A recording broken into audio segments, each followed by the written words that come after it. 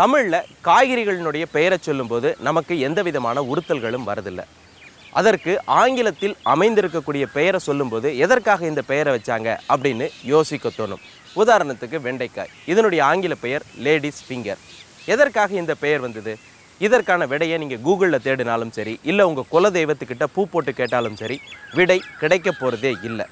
ஏதோ ஒரு காலத்தில் ஏதோ ஒரு கவிஞன் பெண்ணின் விரலை போல இருப்பதனால இந்த வெண்டைக்காவை கற்பனையாக வர்ணித்து லேடிஸ் ஃபிங்கர் அப்படின்னு சொல்லியிருக்கலாம். அதிலிருந்து இந்த பெயர் வந்திருக்கலாம். இதற்கான சரித்திர குறிப்புகள் எதுவுமே இல்லை. ஆனால் வெண்டைக்காய்க்கு நிறையவே வரலாறு இருக்கு. அது என்ன? தெரிஞ்சுக்கலாமா? வெண்டைக்காயின் பூர்வீகம் எது? ஆப்பிரிக்கா கண்டம். ஆப்பிரிக்காவின் கிழக்கு பகுதி நாடுகளான எத்தியோப்பியா மற்றும் சூடானின் சில பகுதிகளில் வெண்டைக்காய் கிறிஸ்து பிறப்பதற்கு பல ஆயிரம் ஆண்டுகளுக்கு முன்பிருந்தே விளைந்து வருவதாக ஆய்வாளர்கள் சொல்றாங்க. ஆப்பிரிக்கர்களுக்கு வெண்டைக்காய் சேர்த்து செய்யப்படும் சூப் அப்படின்னா உயிர்.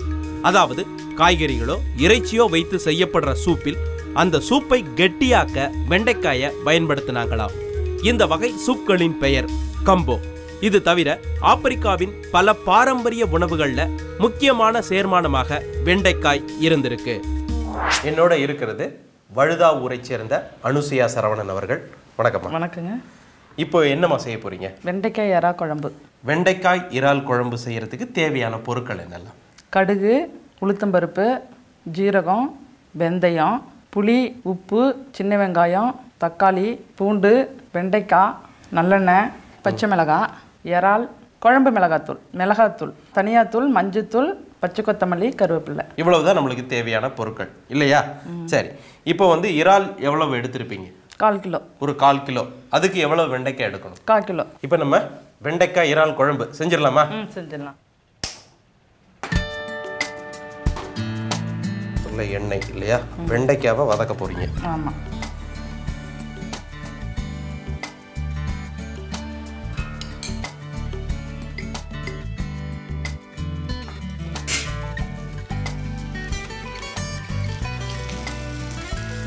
இதுல எதுவும் உப்பு உப்பு நம்ம எதுவும் இல்லை ஒன்றுமே சேர்க்க வேணாம். அப்படியே- ஊற்றி அதில் வதக்க வேண்டியது. வதக்குனா போதும்.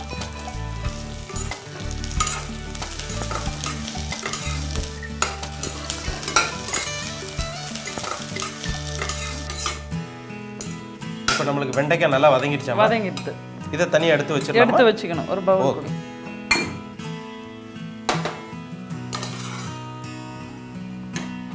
வெண்டைக்காய் இறால் குழம்பு பண்றதுக்கு நம்ம வெண்டைக்காவை நல்லா போட்டு நல்லா வதக்கி எடுத்து வச்சிட்டோம். இப்போ அடுத்தது மண் சட்டியில நம்ம குழம்பு செய்ய போறோம் முதல்ல இல்லையா? மண் சட்டி. இது தேவையான அளவு எண்ணெய் ஊற்றிக்கணும் தாராளமாகவே ஊற்றலாம் தாராளமாகவே ஊற்றலாம் நிறையவே எண்ணெய் ஊற்றிக்கணும் ஊற்றிக்க கடுகு. கடு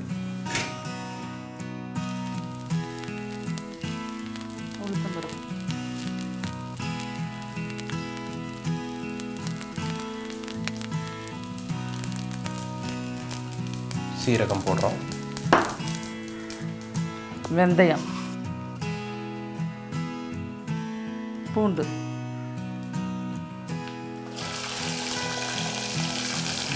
பூண்டுக்கு வந்து பச்சை வாடை போகணும் நல்லா போகணும். நல்லா வதக்கிக்கிட்டு. நல்லா வதங்கணும்.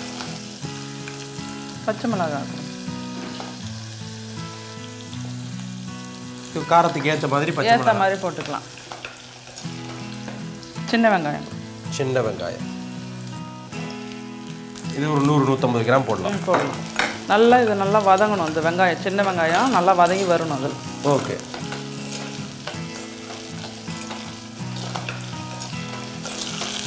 தக்காளி சேர்க்கலாமா இப்போ? இப்போ சேர்க்கலாம். இப்போ இப்போ வதங்கிடுது இப்போ மூணு தக்காளி மூணு தக்காளி. மூணு தக்காளி சேர்த்துக்கிறீங்க. தக்காளி வதங்கின பிறகுதான் உப்பு மசாலா பொருட்கள்லாம் சேர்க்கறது எல்லாமே. உப்பு கொஞ்சம் சேர்த்துக்கலாம் இப்போ. இப்போ- வதங்கறதுக்கு நல்லா வதங்கி சீக்கிரம். வரும்.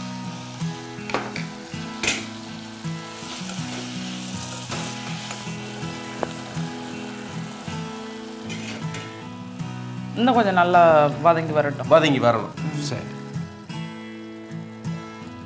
நல்லா வதங்கி வந்துருச்சா? ம் நல்லா கிரேவியா வந்துட்டு பாருங்க. நல்ல கிரேவியா வரணும். அந்த எண்ணெய் மேல மேலே வருது பாருங்க. இப்போ இறால் சேர்க்கலாம். சேர்த்துடலாம். இது நல்லா வதங்கணும்.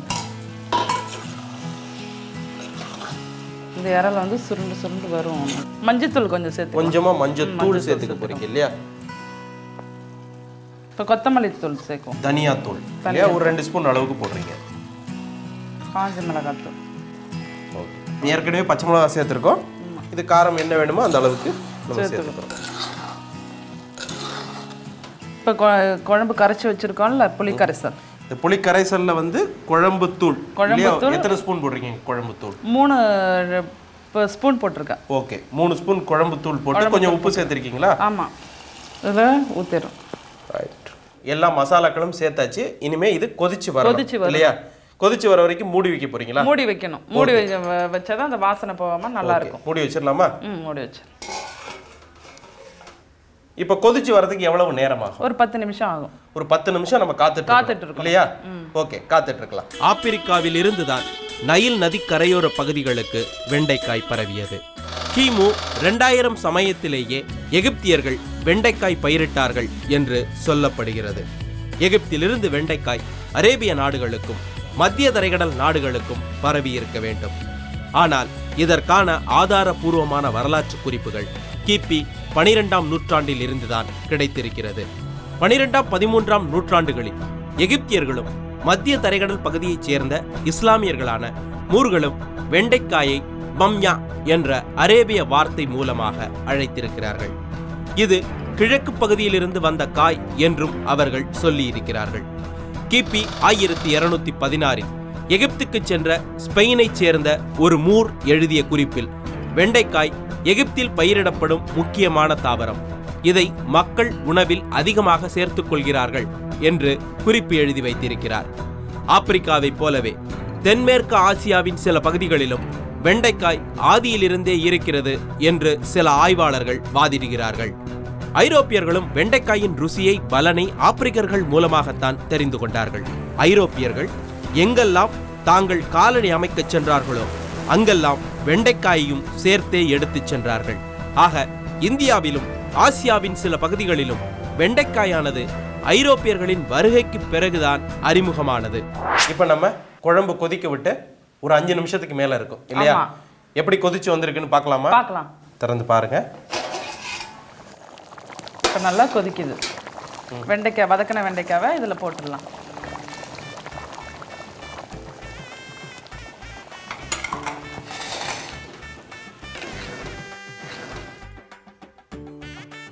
இந்த பதத்துல நம்ம கொத்தமல்லி நறுக்குன கொத்தமல்லி வாசனைக்காக சேர்த்துக்கிறோம். கருவேப்பிலை.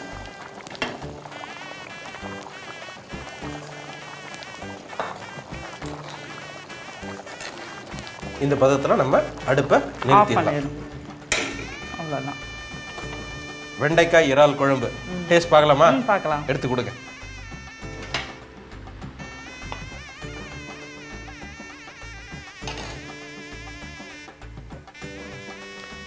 வெண்டைக்காய் இறால் குழம்பு ரெடியாக இருக்குது வெண்டைக்காய் இறால் பூண்டு வெங்காயம் இது எல்லாமே சேர்ந்து வெண்டைக்காய் இறால் குழம்பு அபாரமாக இருக்குது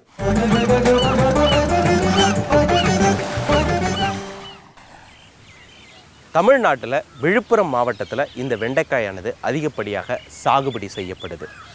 இந்த வெண்டைக்காய் வெப்பத்தை விரும்பக்கூடிய பயிர். மழை பனிக்காலத்தில் செடி சுருங்கி போயிடும். காய்ப்பு அப்படிங்கிறது அதிகமாக இருக்காது. இது ஒரு தொண்ணூறு நாள் பயிர். நட்ட நாற்பத்தி ஐந்தாவது நாளில் காய் பறிக்கலாம். ஒரு நாள் விட்டு ஒரு நாள் காய் பறிக்கலாம். இந்த வெண்டைக்காயை பறித்து வச்சுட்டா ஒரு நாளில் முத்தி போயிடும். அதனால ஒரு நாள் விட்டு ஒரு நாள் காயை பறித்து மார்க்கெட்டுக்கு அனுப்புகிறாங்க பிஞ்சு வெண்டைக்காய் சுவையானது. ஆதி மனிதன் நீண்ட காலமாக காய்த்து கிடக்கும் வெண்டைக்காயை செடியிலேயே விட்டுவிட்டான். அவன் கண்களுக்கு அது உணவாக தெரியவில்லை. அதை எப்படி சமைத்து சாப்பிடுவது என்பதும் அவனுக்கு புரியவில்லை.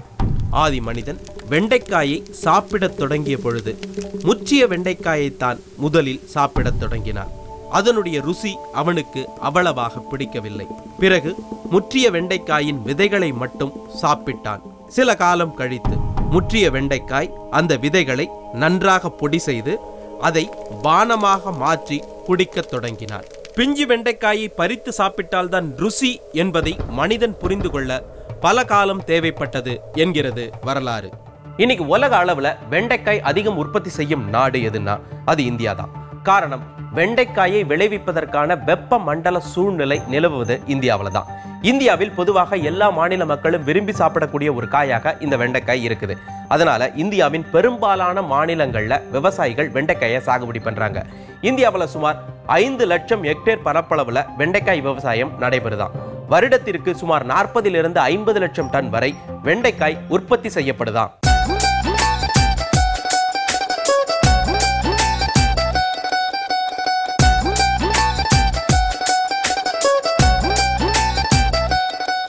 என் கூட இருக்கிறது ஹோட்டல் பிந்தினுடைய ஜிஎம் திவ்யா செஃப் பிரேந்தர். வணக்கம். வணக்கம். இப்போ வந்து நமக்காக வெண்டைக்காயில பஞ்சாப்ல அதிகமாக செஞ்சு சாப்பிடக்கூடிய ஒரு டிஷ்ஷை தான் செஞ்சு காமிக்க போறாங்க. இல்லையா? அதுக்கு பேர் என்ன? பர்வன் பிண்டி. பர்வன் பிண்டி. பிண்டிங்கிறது வெண்டைக்காய்னு தெரியும். பர்வந்த் அப்படின்னா பர்வன்னா ஸ்டஃபிங் இருக்கும்ல. ஓகே வெண்டைக்காய்க்குள்ள ஸ்டஃப் பண்ணி பண்ண போறாங்க. இல்லையா? இப்போ வெண்டைக்காய்க்குள்ள என்ன ஸ்டஃப் பண்ணுவாங்க? வெண்டைக்காய்க்குள்ளே வந்துட்டு நம்ம ஆலு அண்ட் பன்னீர் அது கூட உப்பு முல்கா அண்ட் ரெண்டு மூணு ஸ்பைசஸ் இருக்கு. அது மிக்ஸ் பண்ணிட்டு ஸ்டஃபிங் செய்கிறோம் ஓகே இப்போ உருளைக்கிழங்க நீங்க வேக வச்சிருப்பீங்க இல்லையா? ஆமா வேக வேக வச்சு அதை வந்து ஸ்லைஸ் பண்ணிக்கிறீங்க. அதோட பன்னீரும் சேர்த்துக்கிறீங்க. இல்லாட்டி கிரேட் பண்ணிடலாம். சின்ன சின்னதா நல்லா துருவிக்கலாம். கரம் மசாலா ஏதாவது சேர்ப்பீங்க கரம் மசாலா கொஞ்சம் சேர்த்துட்டு கொரியாண்டர் லீவ்ஸ் இது எல்லாத்தையும் ஒண்ணா மிக்ஸ் பண்ணிட்டு உள்ள ஸ்டஃப் பண்ணிடுவீங்க வெண்டைக்காய்க்குள்ள. ஓகே இதை ஏதாவது ஃப்ரை பண்ணணுமா? இது வந்துட்டு ஷாலோ ஃப்ரைமே பண்ணலாம் டீப் ஃப்ரைமே ஓகே ஃப்ரை பண்ணி எடுத்து வச்சுக்கணும். இதுதான் பேஸ் ஆமா. இதுக்கப்புறம் தான் இதுக்கு மேல வந்து மற்ற இன்கிரீடியன்ஸ்லாம் சேர்க்க போறீங்க இல்லையா? இப்போ வந்து பர்வந்த் பிந்தி. இது பண்றதுக்கான இன்கிரீடியன்ஸ் என்னெல்லாம் இது பண்ணக்கு இன்க்ரீடியன்ஸ் வந்துட்டு மெயின் சாப் மசாலா என்ன சாப் மசாலா அது வந்துட்டு நம்ம ஆயிலில் வந்துட்டு ஆனியன் போட்டுட்டு atleast one and half two ஹவர்ஸ்க்கு ஸ்லோலி குக் பண்ணுறோம் ஸ்லோலி குக் பண்ணிட்டு அதில் எல்லாம் மசாலா போடுறோம்.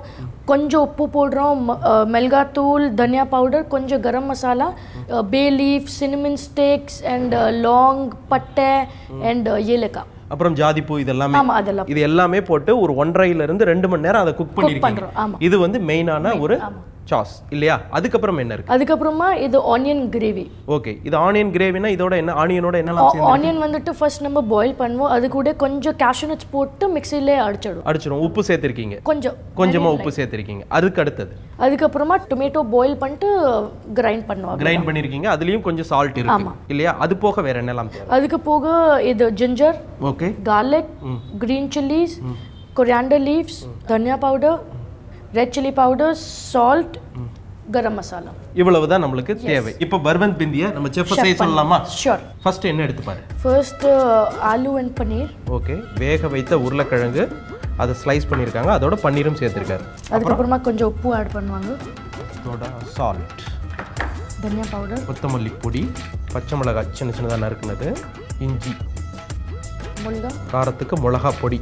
கரம் மசாலா பவுடர் கொரியாண்டர் இது கொத்தமல்லி இலை இல்லையா? ஆமா. இதை என்ன பண்ணுவார் நல்லா இது கொஞ்சம் கையில் மிக்ஸ் பண்ணிடுவார். நல்லா பிசைஞ்சிருவார். அவ்வளவுதான். இதுதான் நம்ம வெண்டைக்காய்க்குள்ள வைக்க போற மசாலா.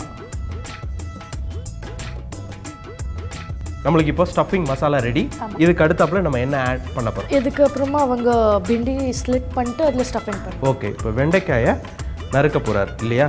இப்போ வந்து இந்த வெண்டைக்காயை நம்ம கட் பண்ணும்போது உள்ள இருக்கிற அந்த விதை எல்லாத்தையும் எடுத்துக்கிறார் அதெல்லாம் இல்லையா? ஓகே. அதை டோட்டலாக எடுத்துட்டு அதுக்கு அதுக்குள்ளே தான் ஸ்டஃப் பண்ண போறாங்க. இது இவ்வளவு வைக்கணும் அப்படிங்கிற அளவுலாம் இல்லை. இல்லை அது சைஸ் ஏற்ற மாதிரி என்ன சைஸுக்கு இருக்கோ அந்த சைஸுக்கு நம்ம உள்ள வச்சா போதும். கொஞ்சம் எண்ணெய் போடுவாங்க. எண்ணெய் போட்டுட்டு அதில் தான் எல்லாமே மிக்ஸ் பண்ண போகிறாங்க எண்ணெய் போட்டுட்டு சின்னதாக நறுக்கின இஞ்சி இல்லையா? பச்சை மிளகா கொஞ்சம் கார்லிக் இதை நல்லா டாஸ் இது கொஞ்சம் லைட்டாக டாஸ் பண்ணிட்டு நெக்ஸ்ட் இது பிண்டி நம்ம இதில் போட்டுடுறோம் அதுக்கப்புறமா இது ஆனியன் மசாலா ஓகே அடுத்தது ஆனியன் கிரேவி ஒரு ரெண்டு ஸ்பூன் அதுக்கப்புறமா ஒரு ஸ்பூன் டொமேட்டோ கிரேவி அடுத்தது தக்காளி கிரேவி ஒரு ஸ்பூன் ஒன் மோர் யா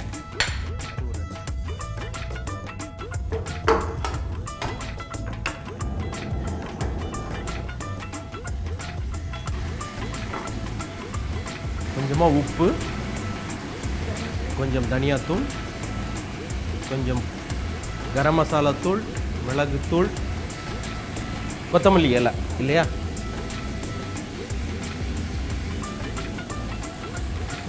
மஞ்சள் பொடியும் அப்புறம் மிளகாய் தூளும் சேர்த்துருக்காரு.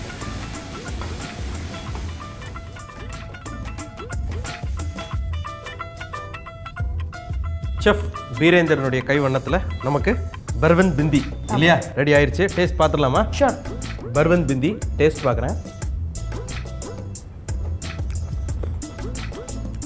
இந்த ஸ்டஃபிங்லாம் சேர்ந்து ரொம்ப நல்லா இருக்கு. பர்வன் பிந்தி சூப்பர் சரி இந்த பர்வன் பிந்தியை எதோடலாம் வச்சு சாப்பிடலாம்? இதுக்கு தந்தூரி ரோட்டி. பஞ்சாபோட ஸ்பெஷல் தந்தூரி ரோட்டிலன்னு சாப்பிடலாம் ஃபுல்காஸ் சப்பாத்திஸ் சப்பாத்திஸ் இதோட எதுனாலும் வச்சு சாப்பிடலாம். ஆமாம் ஓகே இது வந்து ஒரு ட்ரெடிஷ்னலான பஞ்சாபி ரெசிபி. இல்லையா? பர்வன் பிந்தி சூப்பர்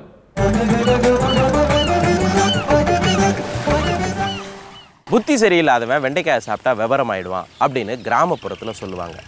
பெற்றோர்கள் குழந்தைகிட்ட நிறைய வெண்டைக்காய் சாப்பிடு கணக்கு நல்லா வரும் அப்படின்னு சொல்லுவாங்க. இதுக்கு பின்னாடி இருக்கக்கூடிய உண்மை என்ன? பொதுவா வெண்டைக்காயை வெட்டுறப்போ வழவழப்பான கொழகொழப்பான ஒரு திரவம் வரும். இதோட பொது பெயர் மொசிலோஜினஸ். இது ஆஸ்டிலேட்டட் அசிட்டிக் பாலிசாச்சராய்ட் மற்றும் கேலக்ட்ரானிக் ஆசிட் கலந்த வேதி கலவை. இது ஒட்டும் தன்மை கொண்டது. இந்த வேதியியல் கலவைக்கு மூளையை சுறுசுறுப்பாக்கும் புத்தியை கூர்மையாக்கும் நினைவாற்றலை அதிகரிக்கும் தன்மை உண்டு. அதனால்தான் வெண்டைக்காய் சாப்பிட்டா விவரம் வளரும் கணக்கில் புளியாகலாம் அப்படின்னு எல்லாம் சொல்லுவாங்க.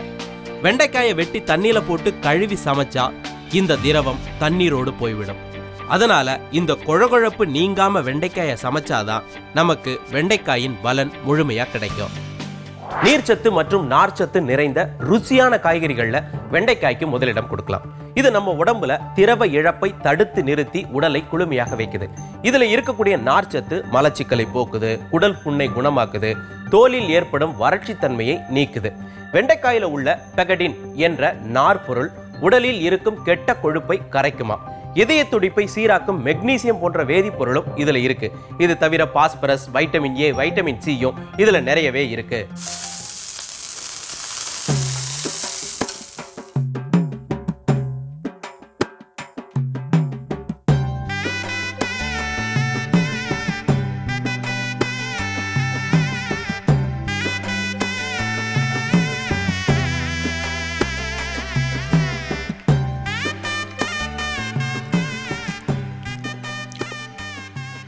என்ன சாப்பிட்றேன் அப்படின்னு பார்க்குறீங்களா? தோசைங்க. இது சாதாரண தோசை இல்லை. விழுப்புரம் மாவட்டத்தில் பிரபலமாக இருக்கக்கூடிய வெண்டைக்காய் தோசை. வழக்கமாக பொடி தோசை வெங்காய தோசை தக்காளி தோசை அப்படின்னா என்ன பண்ணுவாங்க? தோசை மாவு எடுத்து கல்லில் ஊற்றி நறுக்கி வச்சிருக்கக்கூடிய வெங்காயத்தையோ தக்காளியோ இல்லை பொடியவோ மேலே தூவி அப்படியே பிரட்டி எடுத்து கொடுத்துருவாங்க. ஆனால் அந்த வெண்டைக்காய் தோசை அப்படி செய்கிறதில்ல மாவு அரைக்கும் போதே இந்த வெண்டைக்காயும் சேர்த்து அரைக்கணுமா? என்ன பதத்தில் அரைக்கணும் என்னெல்லாம் சேர்க்கணும் இந்த தோசை எப்படி செய்கிறாங்க தெரிஞ்சுக்கலாமா? வெண்டைக்காய் தோசை செய்ய அரை கிலோ புழுங்கல் அரிசிக்கு ஐந்து வெண்டைக்காயை எடுத்துக்கொள்ள வேண்டும். புழுங்கல் அரிசியை ஒன்றரை மணி நேரம் நன்றாக ஊற வைக்க வேண்டும். ஊற வைத்த அரிசியை வெண்டைக்காயுடன் சேர்த்து கிரைண்டரில் தோசை மாவு பதத்தில் அரைத்து எடுத்துக்கொள்ள வேண்டும். இந்த தோசை மாவுடன் கடுகு உளுத்தம்பருப்பு சீரகம் வெங்காயம் பச்சை மிளகாய் கருவேப்பிலையை நன்றாக எண்ணெயில் வதக்கி கலந்து எடுத்துக்கொள்ள வேண்டும். இதற்கு மேல் கொத்தமல்லி இலை இரண்டு ஸ்பூன் தயிரும் சேர்த்து நன்றாக கலக்கி எடுத்தால் வெண்டைக்காய் தோசைக்கான மாவு ரெடி. இதில் தேவையான அளவு உப்பு சேர்த்து கொள்ள வேண்டும்.